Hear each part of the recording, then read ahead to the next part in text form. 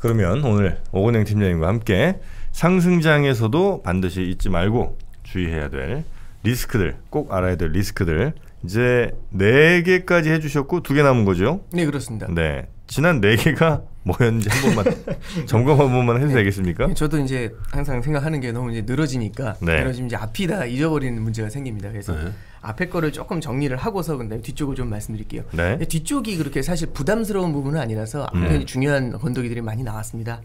네, 첫 번째 말씀드렸던 건 이제 미국의 재정 적자에 대한 말씀을 좀 드렸어요. 네. 미국이 이제 1조 달러 재정 적자에 대한 얘기를 좀 하고 있는데 1조 달러가 넘었다고 합니다. 음. 그럼 미국이 재정 적자를 많이 낸다라는 거는 적자가 난다는 얘기니까 결국에는 적자 국채를 발행해서 그걸 조달을 해야 되거든요. 네. 국채 발행을 늘리다 보면은 아무래도 이자에 대한 부담도 굉장히 크게 증가를 하게 됩니다. 그렇죠. 그러니까 결국에는 적자 국채 발행이 굉장히 많이 증가하게 되면서 시중에서 이제 유동성을 굉장히 많이 좀 빨아들이는 문제들이 예. 생겨나게 되거든요. 음. 그러면은 어 그래도 지금 뭐 적자 국채 발행한다고 해도 그렇게 많이 발행해도 아무런 문제가 생기지 않잖아. 참 아이러니하게 그게 레포 시장에 가서 터지고 있습니다. 네. 지금도 이제 여전히 레포 시장이 여전히 조금 좀 물론 이제 지난 9월 달만큼 그러진 않지만 음. 여전히 조금씩은 불안불안한 모습은 좀 보이고 있거든요. 그래서 이제 이런 것도 이제 레포 시장까지 이제 흔들어 놓으니까 이런 거죠. 결국에 앞뒤를 다 잘라 가지고 말씀드렸습니다. 미국에서 10년짜리 국채를 발행해서 자금을 조달한다라고 하는데 음. 10년짜리로 자금을 갖다 후욱 빨아들이니까 정부에서 초단기 자금 시장에서 돈이 말라버리는 문제가 생긴 겁니다. 네. 이걸 과정을 다시 다 설명해 드리려면 시간이 음. 모자라고요. 그러니까 여기 이 초단기 자금 시장에서 돈이 모자라니까 이걸 누가 메워주고 있냐면은 Fed가 들어가서 메워주고 있는 네. 예, 그런 구조다라고 이제 설명을 좀 해드렸죠. 음. 뭐 지금 잘 버티고 있는데 뭐가 문제야? 문제는 음. 적자 국채 발행이 더 늘어났을 때 문제입니다. 음. 지금도 간신히 이렇게 떠받치고 있는데 음. 여기서 그냥 그 옛날에 어렸을 때 보면 뿌요뿌요라는 게임 같은 게 있었어요. 막 이렇게 방울 떨어지는 게임. 아. 네네네. 그거 한번 제대로 훅 떨어지면 그때 훅 이렇게 무너지는 음. 그런 모습들이 나타나잖아요. 음. 예, 그래서 이제 적자 국채 발행이 확 늘어났을 때 네. 이제 과연 이제 여기서 이제 초단기 자금 시장, 레포 시장에서의 불안감이 더 커지지 않겠는가? 음. 이런 점에 대해서 저희가 좀 그 경계를 해서 바라봐야 된다. 네. 그럼 이건 또 어떤 거하고 연결이 되냐면은 이제 재정 정책을 갖다 화끈하게 늘릴 것이다라는 얘기들이 많이 나오잖아요. 음. 이게 쉽지가 않을 수도 있다라는 겁니다. 왜냐하면 현재도 재정 적자가 굉장히 크잖아요. 네. 여기서 굉장히 큰 부분만큼 적자 국채를 발행하고 재정 적자를 늘리게 됐을 땐 음. 오히려 초단기 자금 시장에서 오히려 더 큰 문제가 발- 벌어지는 음. 이제 그런 이슈다라고 이제 설명을 해드렸죠. 네. 음, 뭐 예를 들어서 이런 겁니다. 어, 시장은 여러 가지 기대를 하고 있습니다. 음. 페드가 안전하게 지켜줄 것이다라는 그런 믿음이 존재할 수 음. 있고요. 두 번째는 트럼프 행정부에서는 얼마든지 적자 국채를 발행을 해가지고 네. 경기 부양을 해줄 것이다라고 얘기를 하고 있는데 음. 근데 만약에 이제 이렇게 적자 국채를 발행하고 재정 지출을 늘렸을 때 음.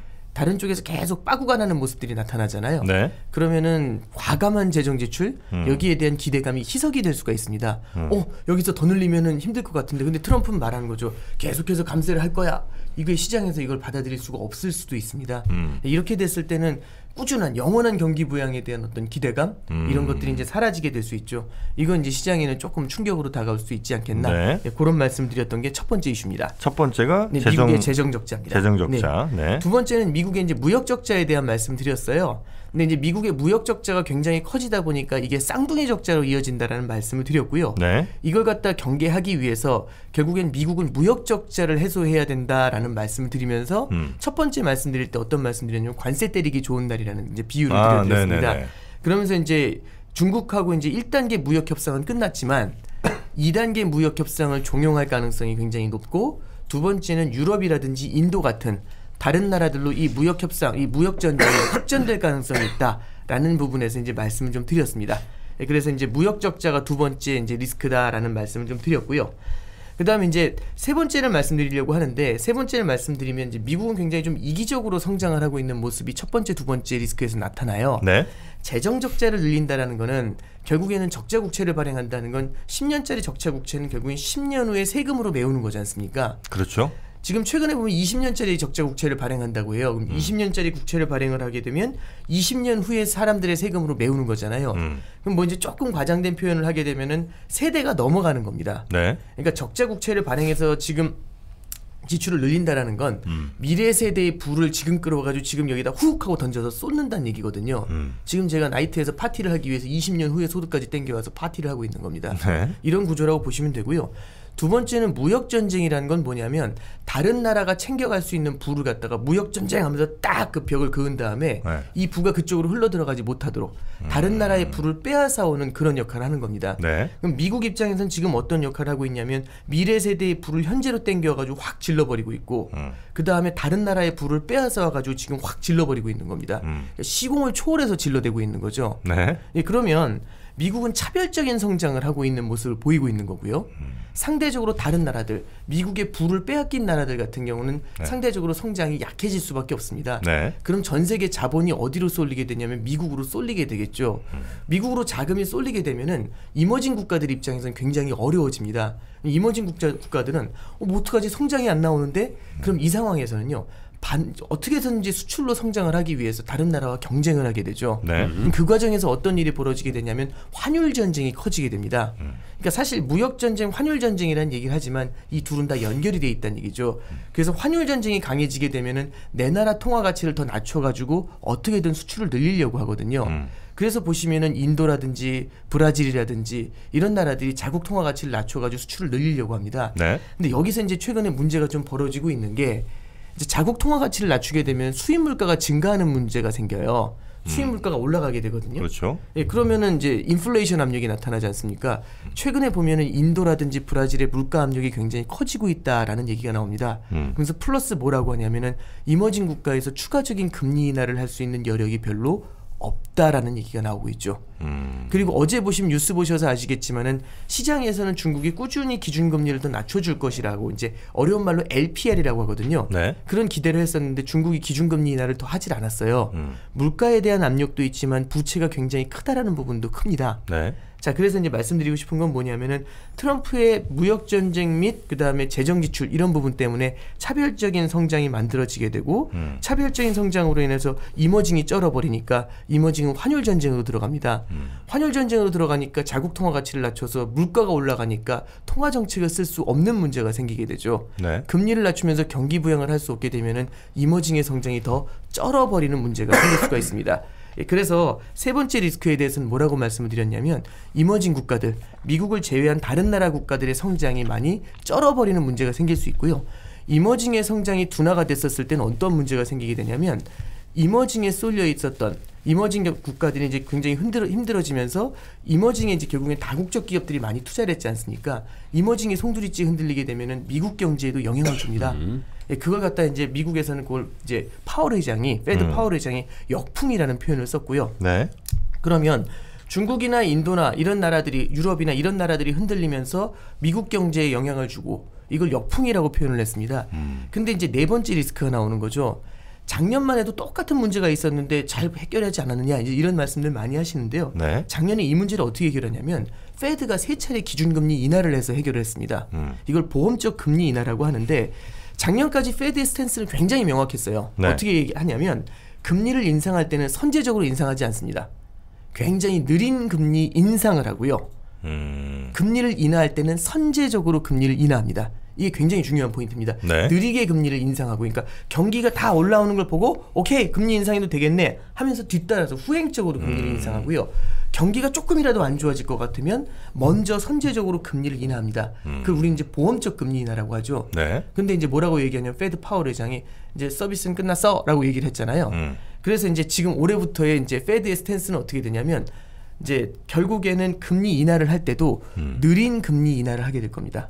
다시 느린 금리 인상에 선제적인 금리 인하 조합이 작년까지 Fed의 스탠스였다면 음. 올해의 스탠스는 느린 금리 인상과 느린 금리 인하 이게 나타나게 될 겁니다. 그래서 이걸 갖다가 나타낸 굉장히 중요한 표현이 Fed는 상당한 위기가 벌어졌을 때, 상당한 경제의 변화가 나타났을 때 그때 추가적인 금리 인하를 할 것입니다라는 네. 얘기를 첫 번째 하고 있고요. 두 번째는 어 그래도 Fed는 말만 그렇게 하지 repo 시장에서 돈 뿌리는 거 봐봐라고 얘기를 하고 있거든요. 여기에 대해서 시장이 굉장히 이제 Fed는 그래도 여전히 좀 완화적으로 할 거야라고 하는데 이제 지난번에 말씀드렸던 게 mid January란 말씀드렸죠. 지금 현재 그 상황인데 네. 조금씩 repo 시장에서 자금을 빼려는 움직임이 나타나고 있다라는 점을 첫 번째 말씀드렸고요. 음. 그 다음에 조금 어려운 표현이었지만 IOER 금리를 인상하려고 아. 한다. 예, 요번 이제 1월 29일 날 아마 인상을 하게 될 거라고 좀 보고 있는데 네. 그거는 제가 이제 Fed 쪽 그 FOMC 정리를 할때 IOER에 대해서는 조금 좀 그러죠. 별로 안 좋아하실 것 같지만 다뤄드리도록 네, 번, 하겠습니다. 네 번째 다, 아, 저 다섯 번째, 여섯 번째를 일단 듣죠. 네, 그게 네. 더 중요하니까요. 그래서 네. 이제 네 가지를 쭉 정리를 해서 말씀드렸습니다. 네. 이제 다섯 번째 리스크는 뭐냐면 조금 의아하게 생각하실 수가 있으실 것 같아요. 네. 다섯 번째 리스크는 유가 하락에 대한 리스크입니다. 유가 하락. 예, 이제 들으시는 분들이 갑자기 깜짝 놀라실 수 있어요. 왜 그러냐면 네. 유가 상승하냐? 이 얘기를 하실 수 있거든요. 왜냐하면 최근에 이제 이란 리스크를 한번 우리는 겪어본 적이 있지 않습니까? 음. 이란 쪽에서 아 뜨거웠기 때문에 그때 국제 유가가 66불까지 올라갔었습니다. 네. 그걸 보면은 어 지금 중동이 불안하니까 유가가 많이 올라가가지고 이 물가가 올라간다 이런 얘기를 하는 거 아니야?라고 음. 생각하실 수 있는데 저는 좀 반대 압력이 더 크다라고 보고 있습니다. 유가가 오히려 하락을 해서 시장을 좀 흔들어 놓을 수 있을 것 같고요. 네. 까지 유가가 하락한다고 해서 최- 최근 잘 나가는 미국 시장이 흔들릴 이유가 있어? 네. 라고 생각하실 수 있는데 요걸 일단 결론부터 말씀드리면 어떤 시장이든지 굉장히 잘 나가는 시장도 픽 쓰러지는 게 어디서부터 시작이 되냐면 약한 고리부터 흔들립니다. 네. 여기가 가스실이라고 가정을 하죠. 좀 끔찍한 비유지만 가스가 들어옵니다. 음. 셋이 동시에 쓰러지는 게 아니라 누가 제일 먼저 쓰러지냐면 폐활량이 제일 약한 사람이 먼저 쓰러집니다. 음. 버티지 못하고 음버타가 이제 죽는 거잖아요. 음. 그러다가 도저히 버티지 못한 건강한 사람도 쓰러지게 되는 거죠. 네. 그래서 결국에는 시장 분위기가 안 좋았을 때는 제일 약한 고리부터 터져나가기 시작을 한다. 음. 요게 일단 전제로 보시면 되는데 지금 이제 미국 경제에서 가장 약한 고리를 찾아보라고 하자면 예, 셰일 기업들, 이제 오일 관련 에너지 기업들이 좀 약한 고리라고 볼 수 있습니다. 이게 이제 뜻밖의 얘기를 좀 하나 해드리면 네. 이렇게 이제 그 여러 주가 지수를 좀 보시면 미국의 에너지 섹터를 한번 보면요. 네. 에너지 섹터 중에서 어떤 애들이 있냐면 저기 그 셰일 쪽으로 이제 그 원유를 채굴하는 이제 탐사하고 채굴하는 음. 애들이 있어요. 그 탐사하고 채굴하는 애들의 기업들의 주가를 모아놓은 ETF가 있습니다. 네. 그 ETF 주가가 7년 만에 최저치입니다. 지금요? 예, 계속 떨어졌어요. 음. 다시 말씀드리면 뉴욕 증시는 사상 최고치를 연일 갱신하고 있는데 음. 걔는 지금 7년 만에 최저치입니다. 근데 하나만 더 말씀드리면 7년 만에 최저치를 언제 기록했냐면 지난해 12월 6일 날 10년 만에 최저치 20달러를 딱 기록을 했고 그 다음에 20% 반등을 해서 24불까지 올라왔어요. 음. 네, 근데 이제 요- 그게 중요한 건 아니고 그건 뒤에 다시 말씀을 좀 드릴 거고요. 네. 그러면 어느 한쪽에선 계속 날아가는데 어느 한쪽에선 7년 만에 최저치를 기록하면서 계속 쩔어버리고 있다. 이제 이렇게 음. 생각을 할 수 있잖아요. 이게 이제 이 셰일 기업들, 미국의 셰일 기업들의 이 굉장히 좀 안 좋은 상황들입니다. 음. 그럼 왜 얘네들이 안 좋니라고 보시면 이게 저도 이제 에너지 전문가가 아니라서 네. 뭐 기술적인 부분들은 사실 잘 설명해 드릴 수는 없어요. 근데 이제 이런 거죠. 이 셰일 기법이라는 게 이제 새로운 기법들이고 음. 그래서 이제 유정을 딱 봅니다. 유정을 딱 보면 그냥 제, 가 그냥 문과 수준에서 말씀드리면 요 유정에서 보면 전문가들 얘기 들어보니까 여기서 100리터 나와, 음. 아, 100, 100 드럼 나와, 음. 100배럴 나와 이제 이렇게 생각을 한 거죠. 그래서 100배럴이 나올 것이다라고 추정을 했는데 알고 보니까 막상 이제 그래서 100배럴? 근데 이제 그때 당시 2011년, 12, 년 국제 유가가 배럴당 100달러가 넘어요. 음. 그럼 야 그럼 배럴당 100달러인데 100배럴이 나오면 만 달러 벌잖아. 이거 파면. 음. 그랬더니 이제 정프로님께서 이제 투자하신 거죠 저한테 네. 돈을 많이 빌려주신 겁니다. 음. 100배럴이 나올 줄 알고 음. 만 불을 벌 줄 알고. 음. 근데 이제 문제가 생긴 거죠. 첫 번째 뭐냐면 국제 유가가 지금 주저앉아 버렸어요. 음. 2014년 9월달에 배, 배럴당 105달러 하던 국제 유가가 지금 많이 올라왔습니다. 배럴당 58달러 해요. 음. 이란 난리 나고 하니까. 네. 이란 난리 나서 지금 반토막 나 있는 거잖아요. 음. 이게 한때는 26불까지 떨어졌었습니다. 음. 와, 이거 국제 유가 채산성이 일단 안 맞죠. 네. 일단은 100, 배럴당 100불로 해서 100 드럼이니까 만 불을 벌 줄 알았는데 일단 배럴당 100달러가 아니라 58달러가 된 거예요. 음. 으악 이 소식 이 생각이 딱 드는 건데 두 번째 갑자기 제가 정프로님한테 전화를 한 거죠. 음. 정프로님 죄송한데요. 그러니까 왜요? 그러니까 아, 파 보니까 50배럴밖에 안 나와요라고 뭐? 얘기하는 거죠. 이런 일이 벌어지는 거죠. 4분의 1 토막 예, 나네. 그렇습니다. 그러니까 이제 유가 반토막에 네. 채굴량 바- 반토막. 그냥 미국 시일 잘 나간다며. 근데 이런 게 현실입니다. 그럼 음. 이제 미국 시일 기업들은 어떤 문제가 생기게 되냐면 채산성이 안 좋죠. 네. 두 번째는 재무적인 부분에서 이게 수익성이 안 나다 보니까 재무적으로 굉장히 부담이 커질 겁니다. 음. 그죠? 그러면 이제 이게 소문이 돌았을 건 저 같은 사람이 알 정도면 모두가 알고 있을 거잖아요. 그렇지. 그러면 제가 자금을 조달할 방법이 없습니다. 제가 유상증자 한다면 들어오시겠어요? 음. 투자하십시오. 안 들어오죠. 그럼 채권 발행하면 들어오시겠어요? 진짜 제가 12% 이렇게 불러야 그때 들어오시겠죠. 음. 이런 채권을 뭐라고 하냐면 고수익 고위험 채권이라고 해서 영어로 high yield 채권이라든지 아니면 junk bond라는 말을 씁니다. 음. 네. 그래서 얘네들이 junk bond예요. 근데 참 다행스러운 게 다행스러운 게 작년도 12월 5일 날 제가 뭐 그 ETF가 저점을 찍었다고 말씀드렸잖아요. 네네. 작년도 12월 5일 날 오펙에서 감산 합의를 합니다. 감산합이라는 건 원유의 공급을 음. 줄인다는 얘기잖아요. 네. 그러면서 국제 유가가 배럴당 55불에서 쩔어 있다가 60불 위로 툭 튀어 올라왔어요. 음. 그러다 이란에서 한번 사단이 났잖아요. 음. 예, 그러면서 이제 얘네들이 한번 좀 후 하고 한숨을 쉬고 있는 그런 상황이라고 볼 수 있는 거죠. 음. 그럼 잠깐만 이제 여기서 말씀드리고 싶은 게 뭐냐면 그러면 국제 유가가 더 떨어지면 지금보다 만약에 떨어지게 됐을 땐 음. 그런 리스크가 있다고 말씀드렸죠. 국제 유가가 지금보다 더 떨어지게 됐을 땐 그럼 재무적으로 어렵고 지금 간신히 한숨 쉬고 있는 미국의 시일 기업들 이들이 굉장히 좀 약한 고리가 될 수 있지 않냐. 그죠? 음. 약한 고리가 되면은 이들에 대한 채권에 자금이 쏠리지 않으면서 이들의 하- 채권들 아까 말씀드렸던 정크 본드가 굉장히 쓰, 진짜 말 그대로 쓰레기가 될 수 있고 부실이 늘어나게 됩니다. 여기서 조금만 더 비약적으로 말씀드리면 여섯 번째가 어떤 걸로 갈 수 있냐면 여섯 번째 리스크가 이 high yield 채권들의 신용 등급 리스크예요. 음. 이게 이제 그 채권도 신용 등급이 존재하지 않습니까? triple A부터 해가지고 triple C 뭐 이제 굉장히 낮은 등급까지 존재해요. 네. 근데 BB 등급 이하를 high yield 그러니까 투기 등급 채권이라고 하고요. BB 등급 이하를 음. BB 등급 BBB 등급 이상을 음. 이제 투자 등급 채권이라고 얘기를 합니다. 음. 그러면 이제 투자 등급 채권은 그래도 나름대로 안정적인 채권 이제 이런 표현이 이런 이제 인식이 가능하고요. 네. 그 밑에 있는 BB 등급 이하는 투기 등급이라는 얘기는 투기하는 사람들이나 들어오세요라고 해서 굉장히 위험한 채권 이런 인식이 있습니다.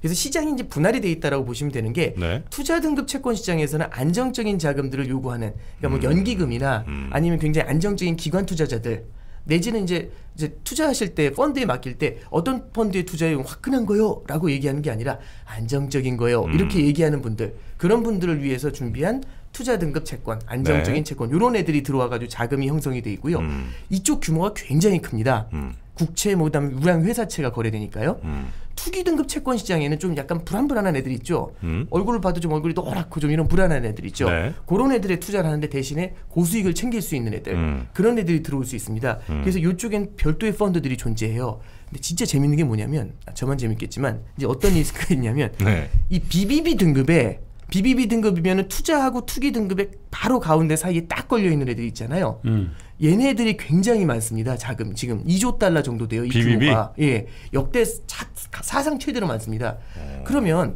예를 들어서 깔짝하면 어떻게 되면 얘들이 BB로 떨어지죠. 네. 뭐한 등급 떨어지는 게 뭐가 문제야?라고 생각하실 수 있지만 투자에서 투기로 떨어지는 건 큰 문제입니다. 음. 왜 그러냐면 투자에서 투기로 떨어지면은 투자할 수 있는 자금의 풀이 바뀌죠. 펀드들이 들어갈 수 있는 풀이 바뀌죠. 일단 첫 번째 투자 등급에서 투자하고 투자 등급에 있었던 애들이잖아요. 2조 네, 달러가 네. 예를 들어 그냥 아주 과, 과감 아주 좀 비약적인 비유로 그냥 투, 투기 그 2조 달러가 다 떨어진다라고 하면 음. 첫 번째는 투자 등급 채권 시장에 있었던 펀드들 있잖아요. 네. 일단 이 2조 달러에 대한 채권들을 털어야 됩니다. 왜? 투자 등급이 아니라 투기 등급이 됐으니까. 음. 다 털고 다른 걸 사야겠죠. 국채 같은 걸 사겠죠. 그럼 국채 쪽으로 자금이 확 몰려갈 겁니다. 음. 자, 근데 문제는 투기 등급 쪽에서 난리가 나죠. 왜냐하면 저는 투기 등급에서 굉장히 낮은 등급에 있는 애들을 샀다가 바로 BBB에서 BB로 툭 떨어져 내려오는 애들 있잖아요. 음. 얘들이 한꺼번에 welcome 하면서 2조 달러가 내려와요. 네. 그럼 뭐야 얘네들이 더 좋네 하면서 밑에 있는 애들을 팔고 이 2조 달러 어치를 사겠죠. 음. 근데 그 밑에 있는 애들을 팔고 위에 있는 애들 가려면 네. 얘도 금리가 그만큼 아니 금리 맞지 금리가 네, 좀 그러겠죠. 나와야 될 거 아니에요. 네. 근데 얘는 그 거기다 잠깐 떨어졌다고 금리가 그렇게 막 나오진 않을 거 아니에요. 한꺼번에 이동을 하진 않겠죠. 네. 한꺼번에 이동을 하진 않겠죠. 근데 잘 생각해 보시면 2조 달러에서 있었던 애들을 팔 팔았잖아요. 네. 그럼 얘네들 같은 경우는 이제 2조 달러에 해당되는 채권 애들은 다 팔리니까 음. 자꾸 얘네들은 셀셀셀셀 하니까 얘네들이 가격이 떨어지겠죠. 그럼 얘네들의 금리가 튀어 올라갈 겁니다. 이 2조 달러만큼 해당되는 애들은 투기 네. 등급으로 떨어진 애들은 네. 자금을 구하기 어려우니까 지금 단기적으로 자금 구하기 어려우니까 2%라도 더 드릴게요. 음, 이렇게 음. 하겠죠. 그렇게 올린다는 거예요? 예. 음. 그러면 무슨 말씀 드리고 싶냐면 네. high yield 채권, 그러니까 회사채 신용 시장에서 굉장한 불안이 나타나게 됩니다. 음. 최근에 1월달 중순에 이제 그 뉴욕 Fed에서 무슨 얘기를 하냐면 네. 미국에서 지금 제일 불안한 건 기업 부채가 굉장히 과도하다라는 데 불안감을 좀 많이 표명을 하고 있어요. 음. 그래서 만약에 지금 이제 5번, 6번은 사실 연결이 된 겁니다. 만약에 유가가 심각하게 떨어지는 문- 문제가 생긴다면 네. 지금 저희는 리스크 시간이잖아요. 리스크 시장 시간. 음, 음. 리스크 시장 시간이라는 얘기는 어떤 일이 벌어질지 모르니까 일단 이런 경우에서도 가정을 하자라고 네. 말씀드리는 겁니다. 만약에 유가가 크게 떨어졌을 때는 셰일 기업들을 흔들게 되고 이 셰일 기업들이 대표적인 high yield 채권들입니다. 음. 요런 애들이 기본적으로 채권 시장을 흔들어 놓게 되면은 음. 미국 이제 회사채 시장 전체의 불안으로도 이어질 가능성 음. 이런 부분들은 이제 우리가 염두에 둬야 된다라는 네. 틀에서 이제 설명을 네. 해드린 겁니다. 음. 네 그러면 일단 5번, 6번을 개요를 이제 설명을 해드렸는데요. 네. 6번은 사실상 설명이 끝났습니다. 음. 그럼 앞으로 돌아와가지고 5번을 설명해 드리는 데 저희가 이제 5번이 뭐냐면은 유가가 하락할 리스크라고 말씀드렸어요. 음. 어, 유가가 올라가는 거 아니야라고 이제 말씀을 하실 수 있는데 저는 이제 기본적으로 유가가 이제 계속해서 하방 압력을 받고 있다라고 생각을 합니다. 음. 그러니까 원유라고 하면은 중력이 밑으로 작용하고 있다라고 생각하고요. 네. 그러면 이제 중력이 밑으로 작용을 해도 로켓가 하늘로 올라가는 이유는 무언가 이렇게 툭툭 쳐올리는 애가 있는 거잖아요. 네네. 이런 애들이 이란 이런 애들이 이제 이렇게 음. 위로 쳐올리는 겁니다. 음. 근데 이란하고 쳐올렸는데 이란이 별거 없으면 두, 또 뭐 이라크 두, 리비아 두 이제 이런 문제가 이제 생기는 거죠. 음. 그럼 이제 바로 반론이 나올 수 있는 게 아니 그러면 유가가 왜 떨어질 것 같은데라는 이제 생각이 좀 드실 수 있어요. 가장 큰 문제는 공급 과잉입니다. 음. 이게 조금 긴 얘기가 되는데 언제로 가야 되냐면 2014년 9월로 가야 됩니다. 2014년 9월 달에 제가 국제 유가가 배럴당 105달러였다고 말씀드렸잖아요. 네. 그때 상황을 이제 회상을 하는 겁니다. 어떤 일이 벌어지냐면 이제 시장에 세 명의 플레이어가 있습니다. 음. 원래 사우디하고 이 사우디하고 이제 저기 러시아가 네. 이제 대표적인 산유국이에요. 음. 이제 그때 당시 1, 2위 산유국이었습니다. 그래서 이 둘이 이제 시장을 양분하고 해먹고 있었어요. 잘 해먹고 있었는데 갑자기 이제 새로운 플레이어가 등장한 거죠. 미국의 셰일 기업들이 2005년 이후에 굉장히 많이 증가를 합니다. 네. 그러면서 이제 이쪽이 워낙 저가 유전으로 계속 파고 들어와요. 음. 그러면서 이제 저희는 계속해서 배럴당 100달러에 팔고 있는데 어디서 조막조막 하면서 이제 7, 80달러에 계속 유가 원유 팔면서 저희들 시장을 잠식하고 있는 거죠. 음. 네. 그게 이제 이제 김 소장님 이제 셰일 기업입니다. 셰일 기업이 이렇게 들어왔어요. 그럼 이제 저희 둘이 이제 열심히 경쟁하고 있는데 열심히 싸우고는 있는데 분명히 저쪽에 비해서는 안 밀리는 것 같은데 네. 둘이 같이 마켓 시어가 줄어들고 있는 거예요. 어떻게 되는 거지 도대체 이제 이런 생각이 드는 거잖아요. 알고 보니까 김 소장님 이 마켓 시어 미국 셰일의 마켓 시어가 증가하는 겁니다. 음. 그래서 이제 어떻게 하냐면 이제 사우디 입장에서는 도저히 안 되겠다. 죽여버리자.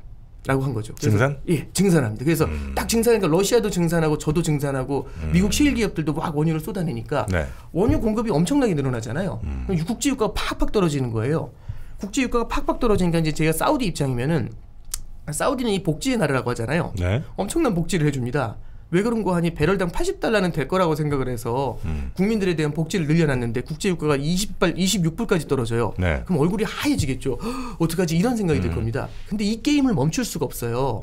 왜냐하면 저 혼자 감산 이러면 이쪽에선 증산하시는데 저 혼자 감산하면 저만 떨어져 나갈 거 아니에요. 네네네. 저만 시장에서 제 마켓 시험을 싹 뺏겨 버립니다. 음. 그럼 저는 멈출 수 없는 게임을 하는 거거든요. 음. 근데 사우디만 그런 게 아니라 러시아도 똑같죠.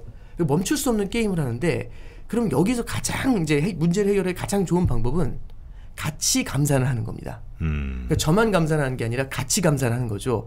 그래서 러시아뿐만 아니라 아이 이제 러시아뿐 아니라 이제 아프리카에 있는 나라들부터 시작을 해서 여러 개 이제 그 비오펙 산유국들 있거든요. 네. 얘들도 오펙으로 같이 들어와 가지고 함께 감산합니다. 그래서 러시아하고 사우디가 같이 손을 잡고 16년도 2월 달에 같이 손을 잡고 그때부터 원유에 대한 감산에 들어가요.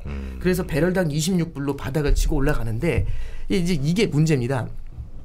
이미 원유에 대한 공급이 굉장히 많이 늘어나 있어요. 음. 이런 상태에서 이제 감산을 해놨지 않습니까? 네. 그러면서 2016년 2월부터 지금까지 계속해서 원유를 갖다 조금씩 조금씩 감산하면서 버텨왔어요. 음. 근데 이제 그래도 국제유가가 계속 떨어지니까 사우디가 이게 답이 없는 겁니다. 아 이거 어떡하지? 어떡하지? 라고 생각해서 왜 이렇게 자꾸 감산 합의를 했는데도 유가가 떨어지는지 알아봐 라고 하니까 알고 음. 보니까 정프로님께서 밑장 빼기를 하고 있었던 거죠. 러시아가 예, 러시아가 밑장 빼기 하고 있었던 겁니다. 몰래 몰래 어디다 팔고 있어요? 그렇죠. 이 러시아가 몰래 몰래 증산하고 있는 거죠. 그리고 이라크도 조금씩 증산을 하고 있는 겁니다. 음. 그리고 이란도 증산하는 거죠. 그래서 제가 이제 사우디잖아요. 아니 뭐 하시는 거예요? 따고 이제 OPEC 회의에서 얘기를 한 거죠. 뭐 하시는 겁니까? 따고 얘기를 하니까 음. 증거 있어? 하시는 말씀이 이제 사실은 그런 거죠. 뭐 증거 있어도 되겠지만 사실은 난 좀 그렇다. 음. 왜냐하면 저기 미국 셰일 기업들은 하나도 감산을 안 하고 있지 않냐. 나만 죽을 수 10억만 없다. 뺏기고 있지 않냐. 네. 그건 너무하는 거 아니야. 저 뉴스 봤니? 그래서 저한테 물어보신 거예요. 뉴스 봤니? 무슨 뉴스요? 했더니 너네가 지금 몇 등인 줄 알아? 알고 보니까 저 사우디가 이제 원래 1등 했는데 3등이 된 거죠. 음. 러시아가 2등입니다. 아니 그럼 1등이 누구죠? 셰일 기업이 1등이 된 거예요. 미국이 미국이. 어느새 세, 사, 그 미국 세계 최고의 산유국이 된 겁니다. 음. 시장 다 뺏긴 거죠. 네. 그러면 이제 잘 생각해 보시면 미국은 미래 세대에 있는 소득을 땡겨온다는 말씀드렸잖아요. 음. 재정으로 음. 적자국자 발행해서 두 번째는 중국의 부를 땡겨온다고 말씀드렸잖아요. 무역 네. 전쟁으로. 세 번째는 산유국의 부까지 땡겨오고 있는 겁니다. 음. 저희의 부가 빽 빨려 나간 거잖아요. 근데 잠깐 제가 사우디가 얘기했죠. 뭐라고 얘기하냐면 그래도 이건 아니다. 원유 가격이 더 떨어지는 건 막아야 되니까 추가로 감산하자라고 음. 얘기하니까 러시아가 난리 난 거죠. 아니 뭐 하는 짓입니까? 그러길래 제가 그랬어요. 내가 먼저 감산합니다. 라고 해서 지, 지난해 네. 12월 6일 날 OPEC 플러스 회의에서 음. 오펙이 아닙니다. OPEC에다 러시아까지 더하, 더해지니까 OPEC 플러스라고 해요. 네. OPEC 플러스 회의에서 그 원유 감산량을 갖다가 조금 더 늘리기로 얘기를 합니다. 그러니까 러시아가 반발해줘 싫어요. 그러니까 일단 내년 3월까지, 그러니까 올해 3월까지만 감산에 합의를 한 겁니다. 음. 자, 그래서 이제 올해 3월까지만 추가로 감산을 한다고 한 다음에 네. 음. 국제 유가가 이제 지금 수준에서 버티고 있는 거죠. 근데 이제 올해 3월 달까지 가기 전에 이제 지금 벌써부터 조금씩 이제 이슈가 나오고 있어요. 첫 번째 이슈가 뭐냐면 12월 6일 날 감산을 했다고 말씀드렸잖아요. 네. 바로 다음 바로 일주일 후에 뉴스가 뭐라고 나왔냐면 미국 셰일 기업들의 시추공 수가 늘어났대요. 증산이에요? 이 시추공이 뭐냐면 제가 이제 말씀으로 드리기 어려운데 그 이렇게 저기 사진 같은 데 보면 이렇게 찌까찌까하면서 이렇게 원유 이렇게 들어올리는 그 네, 네, 이상하게 생긴 그 네모나게 생긴 그 뭔지 아시죠? 네. 예, 걔네들이 시추공이거든요. 음. 걔네들이 늘어났대요. 이 rigs라고 rigs라고 하거든요. 걔네들이 늘어났대요. 이 얘기가 뭐냐면 음. 저희가 감산하기 위해서 증산하는 거죠. 미국이 예. 음. 일단 그럼 그 얘기 들으면 일단 기분이 좀 미국이 지- 증산했답니다. 그러니까 기분이 좀 어 이건 이런 음. 느낌이 딱 들잖아요. 두 번째는 미중 무역 합의가 됐답니다. 근데 중국은 저희한테는 중요한 원유 그 수입국이거든요. 네. 저희 고객사예요. 음. 근데 중국이 뭐라고 하냐면 미국한테 2년 아. 동안 천억 달러에 해당되는 에너지를 살 겁니다라는 얘기를 합니다. 그러면 일단 한번 상상을 해보시죠. 중국이 원래 우리한테 수입하는 건 수입하고 음. 미국한테 별도로 천억 달러를 플러스로 해서 사줄 거냐 아니면 없- 저희한테 사주던 걸 좀 밑장 빼가지고 미국 걸 음. 사줄 거냐 라고 한다면 1, 2안 중에 어디가 더 가능성이 높다고 후자겠죠. 기분이 우리도 별로 안 사우디 러시아 입장에서 그 기분이 좀 그렇지 어, 않을까요? 어. 이건 좀 이런 느낌이 좀 들겠죠. 음. 일단 기분이 됐다 안 좋을 거예요. 네. 근데 거기다가 저희는 열심히 감산 합의를 하고 있는데 미국만 그런 게 아니라 멕시코라고 들어보셨나요? 멕시코? 예, 멕시코. 거기도 산유국이에요. 네. 가이아나라고 듣도 보도 못한 듣, 듣보잡에서 갑자기 원유 증산한답니다. 그다음에 노르웨이도 증산한대요. 음. 좀 기분이 더욱 좀 그렇지 않습니까? 네. 예, 거기다가 이란에서 이제 이, 저희 최근에 보면 중동에서 좀 미국이 이미지가 그닥 좋아 보이진 않잖아요. 네. 이란 쪽 그 얘기 들어보면 네.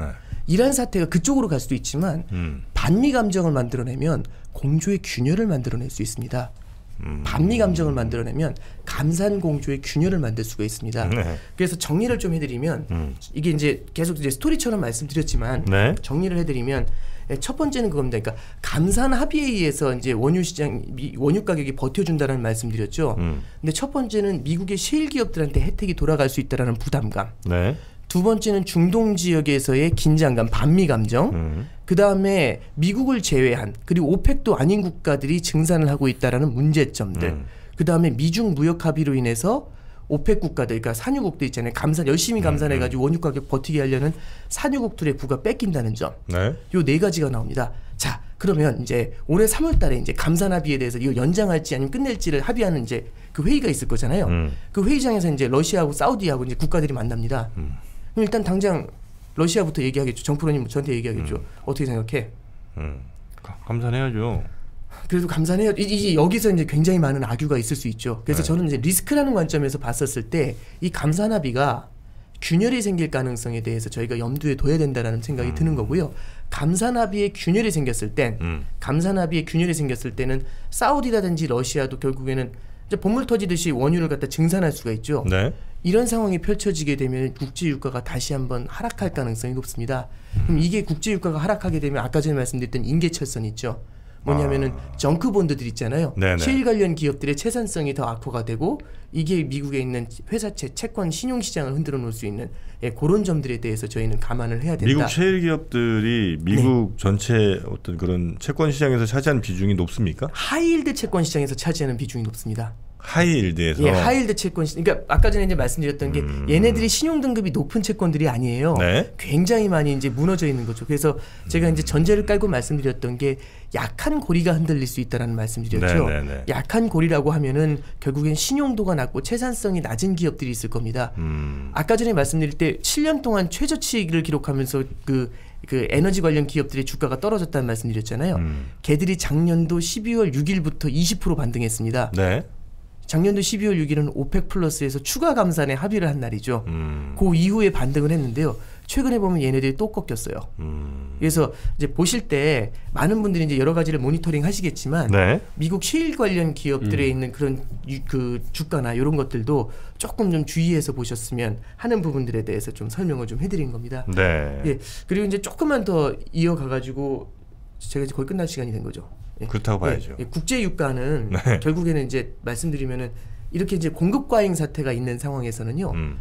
너도 나도 같이 한꺼번에 감산 공조가 탄탄하게 유지가 되지 않고 음. 요렇게 둘만 감산 공조하고 이쪽에서 계속해서 증산하면서 밑장 빼기 하면 이게 오래 유지가 안 됩니다. 음. 그렇겠죠. 그럼 틈만 나면 증산을 해가지고 유가를 잡아내리게 되거든요. 음. 이건 어떤 거하고 연결이 되냐면 장기 저유가하고 만납니다. 음. 그래서 80년대에도 이런 비슷한 문제가 있었고 80년대 중후반부터 국제 유가가 네. 2000년도까지 계속해서 중장기로 20년 동안 쩔어버렸거든요. 음. 그래서 이제 국제 유가도 굉장히 좀 하향 안정세를 좀 나타내지 않겠는가? 네. 예, 40에서 60불 밴드 정도로 이제 그런 얘기가 나오는 게 이제 이런 맥락이다. 그래서 정수밴드 보시면 됩니다. 63불이 아주 견고한. 음. 아, 딱 이런 때도 딱 장중 64불 찍고 바로 빠져버리네. 음.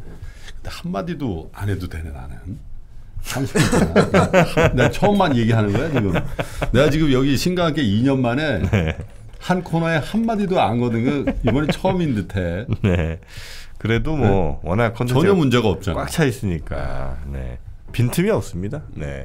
자 그래서 다섯 번째 리스크는 그 네. 유가 하락에 의한 미국 그 셰일 업체들의 예. 채권이 뭔가 문제가 생겼을 때 음. 전체 채권 시장 흔들어 버릴 수가 있다.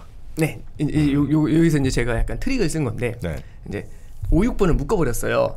아. 그래서 이제 셰일 기업들이 이제 유가 하락에 대한 리스크를 좀 감, 생각을 하자라는 부분하고 이거 이제 high yield 채권 시장, 미국의 음, 회사채 열려 채권. 시장이 흔들릴, 흔들릴 수 있다. 이제 네네네. 여섯 이렇게 해서 5, 6번을 음. 묶어서 1, 2, 3, 4, 5, 6을 말씀드렸고요. 네. 원래 지난 시간에 5번이 5번이 이제 원유 에너지 관련이고 네네. 그다음에 6번이 인플레이션 관련이다라는 말씀드렸는데 네.